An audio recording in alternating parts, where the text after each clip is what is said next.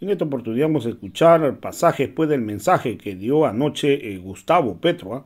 después de ganar la primera vuelta en Colombia. Para esta segunda vuelta, el próximo presidente de Colombia, Gustavo Petro, se va a medir con Hernández. ¿ah? Eh, eh, ocupado por el segundo lugar en estas contiendas. El día de ayer más de 39 millones de colombianos estaban habilitados para acudir a sufragar ¿ah? Entonces hoy vamos a escuchar pasajes pues, eh, del mensaje del izquierdista de pacto histórico Gustavo Petro, economista de 62 años de edad, fue alcalde de Bogotá y en su momento perteneció a las guerrillas. Esta segunda vuelta será el 19 de junio, donde pues por primera vez se podría elegir a un presidente de izquierda. Vamos a escuchar a Gustavo Petro quien pide una oportunidad para cambiar la historia de Colombia. Colombia entera recibe esta noche al próximo presidente de Colombia, Gustavo Petro Urrego, y su vicepresidenta, Francia Márquez. Fuerte aplauso para la pareja que esperamos llegue a la Casa de Nariño el próximo 7 de agosto. Un fuerte aplauso, por favor. Me llamo Colombia y quiero que Gustavo Petro sea mi presidente y Francia Márquez mi vicepresidenta.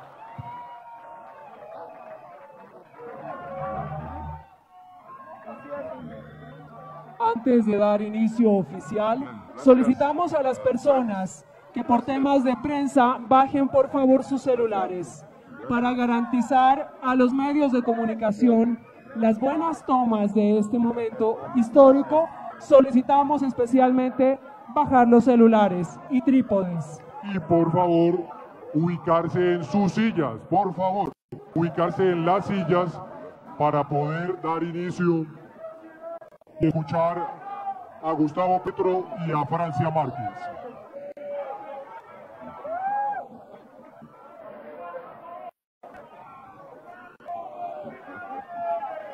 Por favor, tomen sus sillas para que la transmisión se pueda realizar en los términos técnicos que se requieren. Las cámaras están totalmente copadas, tapadas por las personas que están de pies.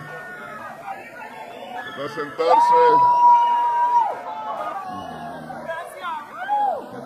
Les solicitamos el inmenso favor bajar los celulares y tomar asiento para dar inicio oficial a este magno evento.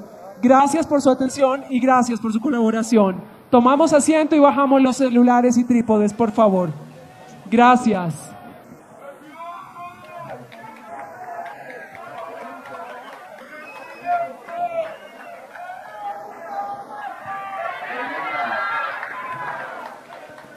Gracias.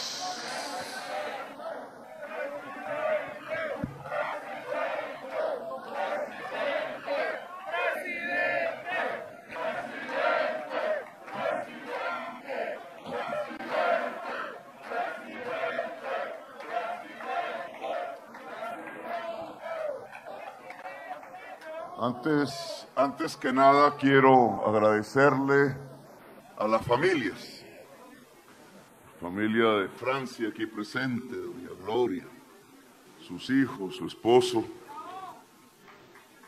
a quien es nuestra fórmula vicepresidencial, que ha desarrollado una excelente campaña, a mi familia aquí presente,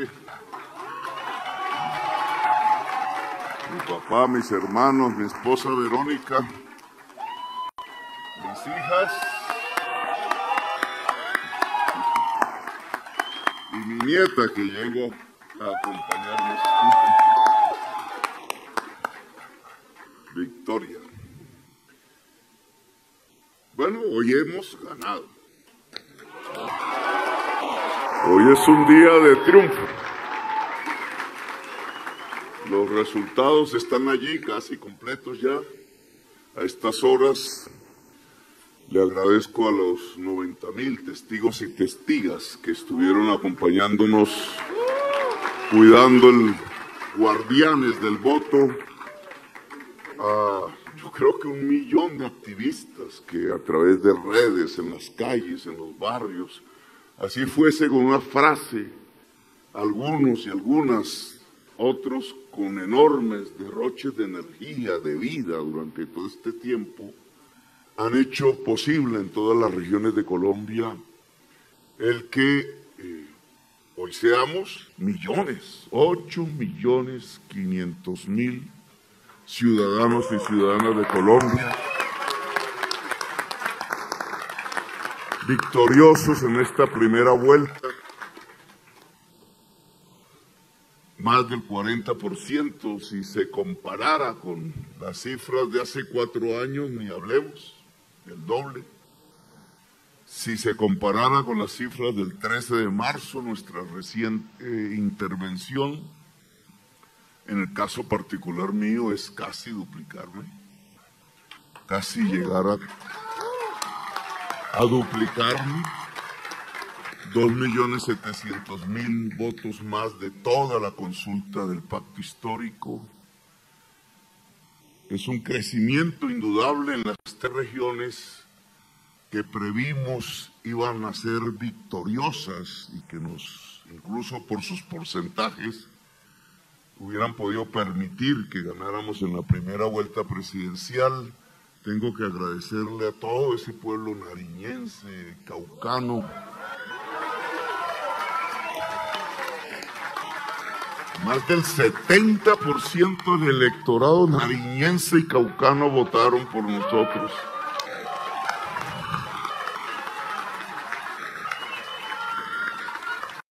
No, no soy no soy de Nariño, no soy del Cauca, pero ojalá que esos vientos del sur recorran toda Colombia ahora, en estas tres semanas. El electorado del Chocó, del Valle, del Cauca, de Cali. Allí tuvimos nuestra mejor, nuestro mejor resultado a mi pueblo del Caribe colombiano. Esta vez, esta vez nos ayudó firme, digno. Allá veo Ángel del Río que encabezó la lucha contra la compra del voto y tuvo un gran éxito.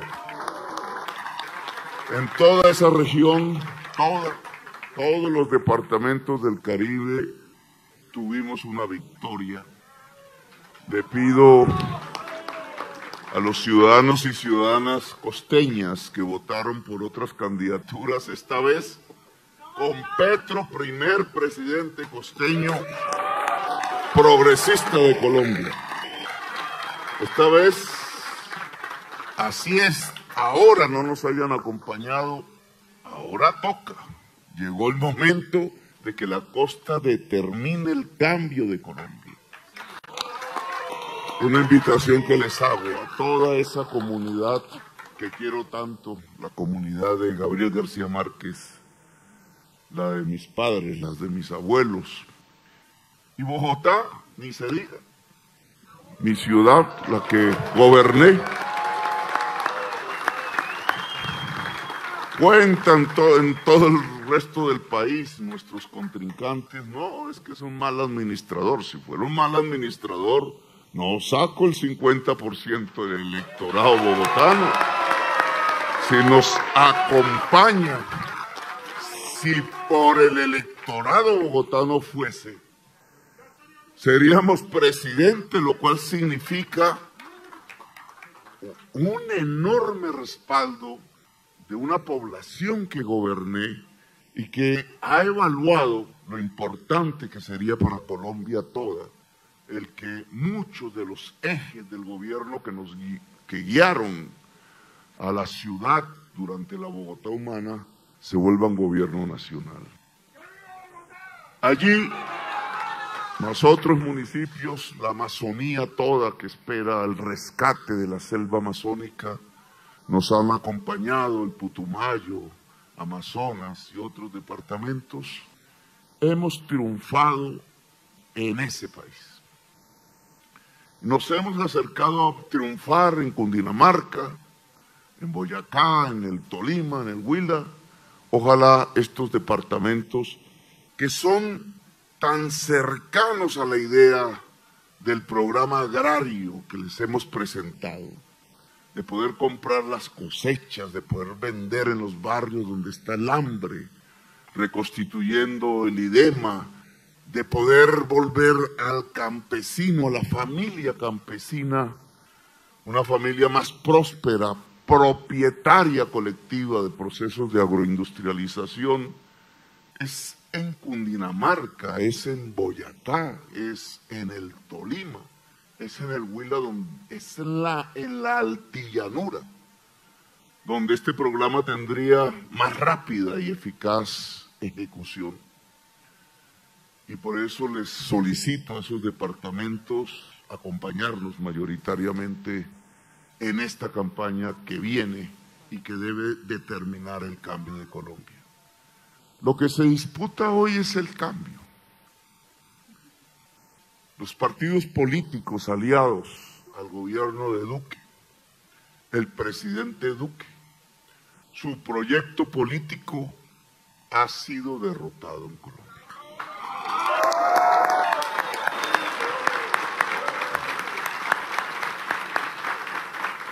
Yo creo que la votación total de Colombia lo que lanza es ese mensaje central al mundo. Se acaba un periodo, se acaba una era. Finalizó, finalizó mal en medio de la trampa, en medio de los subterfugios,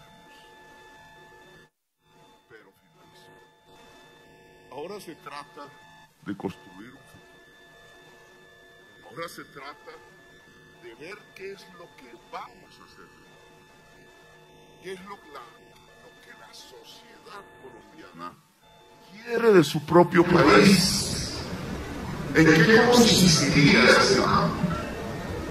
Algunos socialistas decían, oh, con el cambio, que tenía ciertas o con el cambio de los cambios que son avanzar más lo que a Popularmente le dicen tiro. Hay cambios que son. Hay cambios que no son cambios, Nosotros queremos invitar a toda la sociedad colombiana a hacer un cambio de verdad. Un cambio hacia adelante. Un cambio constructivo.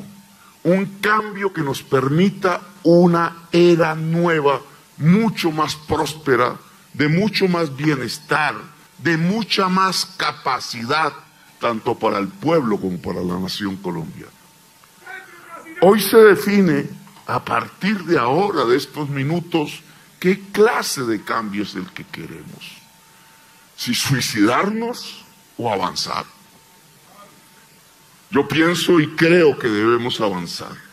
Yo le digo aquí a ese empresariado temeroso que estuvo en estos meses, con el que dialogué muchas veces, prácticamente con todos sus gremios, con gente poderosa y no tan poderosa, con pequeños y medianos empresarios de Colombia, al cual les decían una serie de sandeces para que no votaran por nosotros o se asustaran. Yo les diría, bueno, ha llegado un momento de escoger. Yo lo que propongo al empresariado es justicia social y estabilidad económica.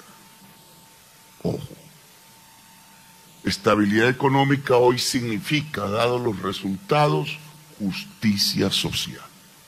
No puede crecer una empresa si la sociedad se empobrece no puede crecer las ganancias en realidad de manera sostenible si la mayoría de la población ve aumentar el hambre en su estómago, en su organismo, en sus familias, en sus comunidades.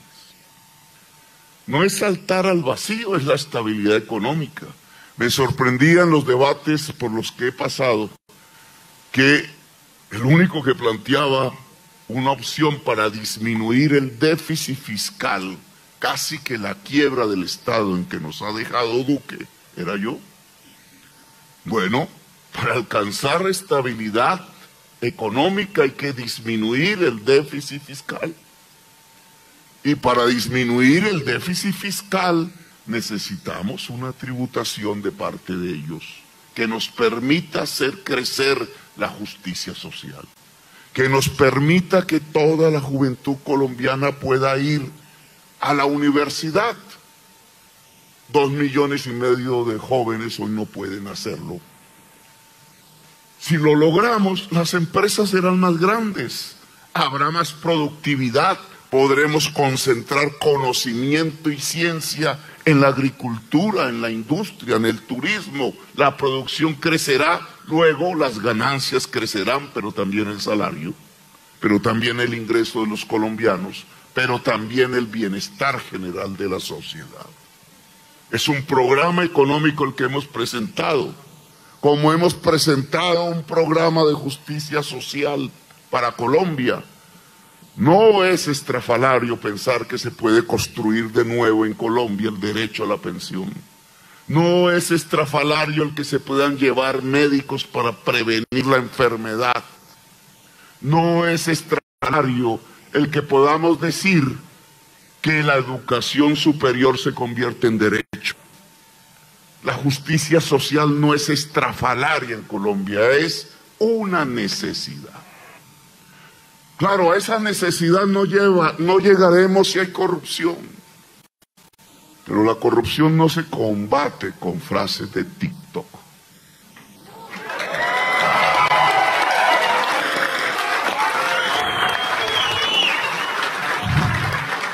Así algunas personas muy respetables piensen que sí. La corrupción se combate arriesgando la vida porque es un régimen de corrupción lo que enfrentamos. Nosotros hemos arriesgado la vida para luchar contra la corrupción, no es de mentiras, es de verdad. No estamos aquí para engañar con un discurso, sino para plantear las realidades sobre la mesa y decirle a la sociedad colombiana con claridad hacia dónde vamos. No queremos más violencias. Hemos propuesto un camino de pacificación. Hace cuatro años, cuando disputábamos con Duque por estas mismas épocas, la mayoría de la sociedad aparentemente decidió que el camino no era la paz, que había que hacer trizas la paz. Plomo es lo que hay, dijeron por ahí en algún momento. Hoy, ¿cuál puede ser el balance? En ese entonces dijeron, vamos a cerrarle el camino a Petro, el camino es Duque para Colombia. Hoy podemos hacer un, un balance, una evaluación. ¿Qué pasó con cerrarle el camino al progresismo colombiano y permitir que un proyecto como el de Duque permaneciera cuatro años más en el poder? Hoy tenemos más violencia, hoy tenemos más corrupción. Hoy tenemos más hambre. Violencia, corrupción y hambre. Valía la pena cerrarle el camino al progresismo por temor a un cambio que nos llevara más bien a la paz, a un Estado transparente y a una sociedad más democrática y productiva. Yo creo que la sociedad colombiana tiene que analizar hoy la decisión para los próximos cuatro años. ¿Queremos más violencia? ¿Queremos más corrupción?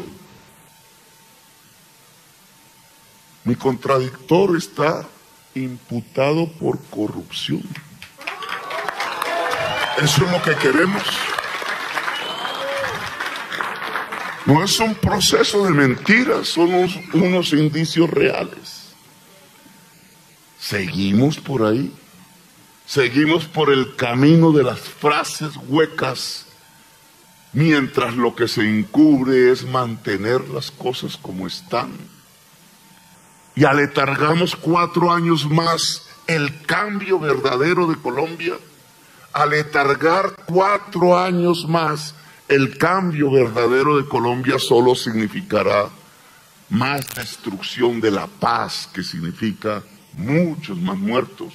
Significará más estancamiento económico por no pasar a construir una economía productiva, a transitar hacia las energías limpias, a posibilitarnos y colocarnos en medio de la humanidad como toda la humanidad está luchando en una economía descarbonizada, en una sociedad del conocimiento.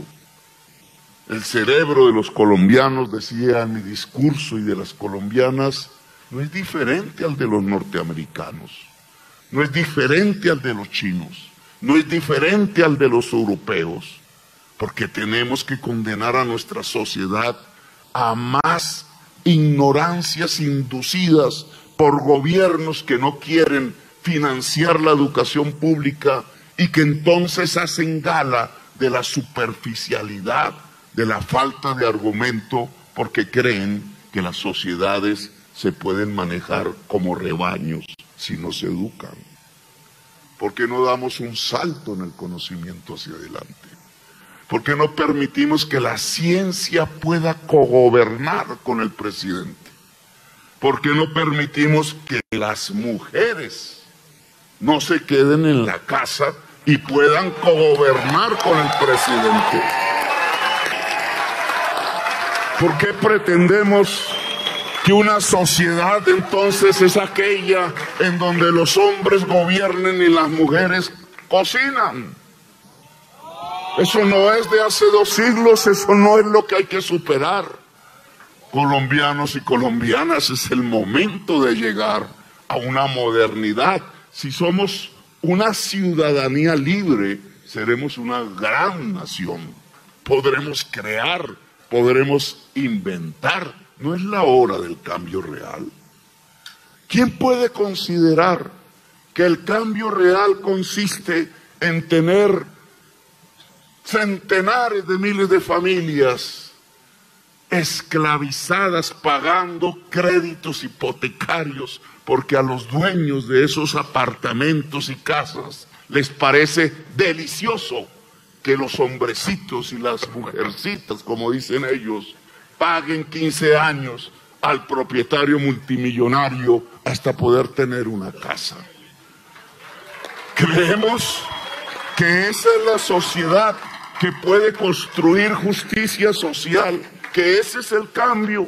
Entonces el cambio consiste en tener a las mujeres en la casa mientras los hombres gobiernan y a tener a los deudores esclavizados, entre comillas, que deliciosamente, pagándole hipotecas a los banqueros. Ese es el cambio.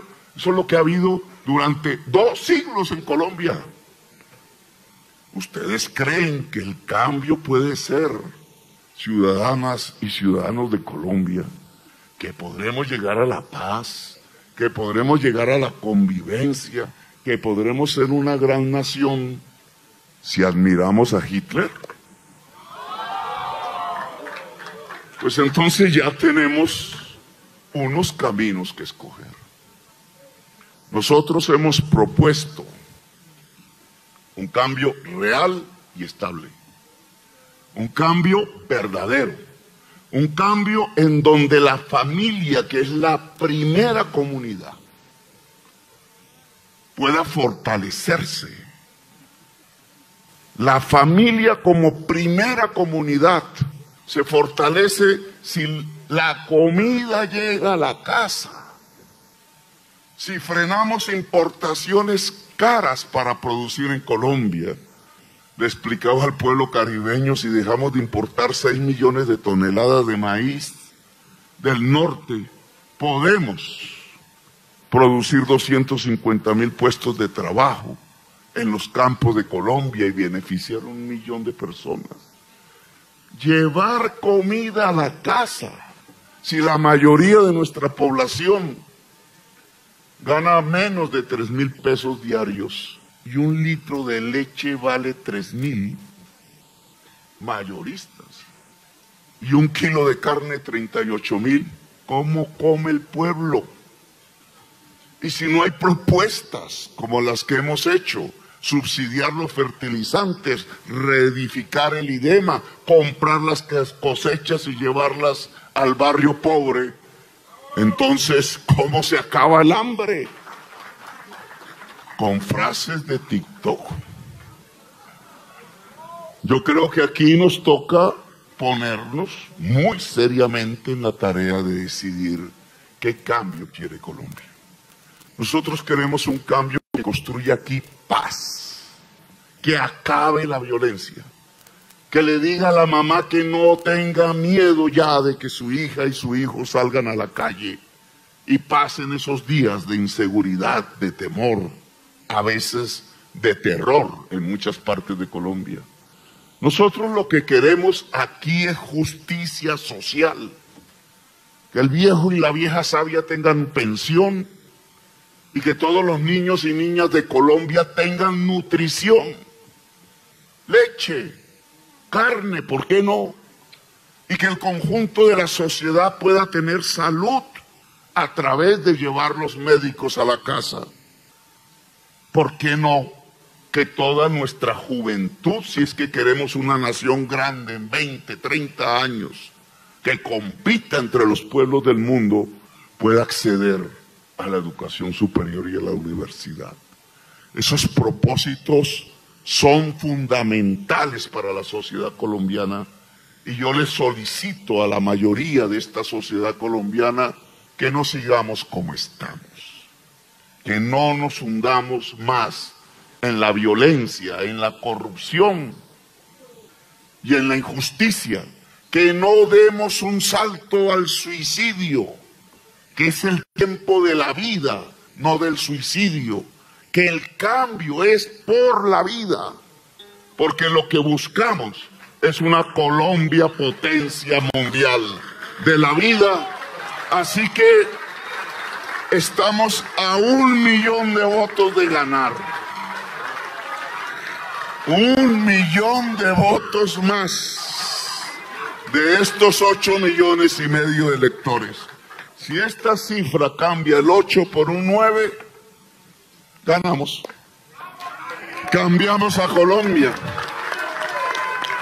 Luego el objetivo en todas partes de nuestra militancia querida, de este activismo tanto en redes como en la calle y en la vereda y en el edificio, es buscar ese millón más. Allá están, están entre los que no votaron por nosotros en el Caribe colombiano que pueden elegir.